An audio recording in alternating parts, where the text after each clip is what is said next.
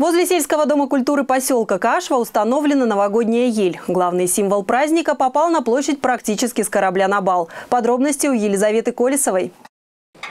Елку собрали почти тайно, без лишних глаз. Утром в поселке немноголюдно. Дети в садах и в школе, взрослые на смене. А работа кипит у сельского дома культуры. Задействованы работники самого учреждения и специалисты Центра материально-технического обеспечения администрации Кировска. Главное – закрепить ель как следует, чтобы она не повторила судьбу предшественницы. Предыдущую елку сломал буран. Был такой сильный буран прямо 31 декабря. Елка упала у нас, но мы применили э, старания и все силы, собрали ребят, установили елку, привязали тросами. Она у нас простояла числа, наверное, до 7 -го. Потом опять э, неблагоприятные погодные, погодные условия.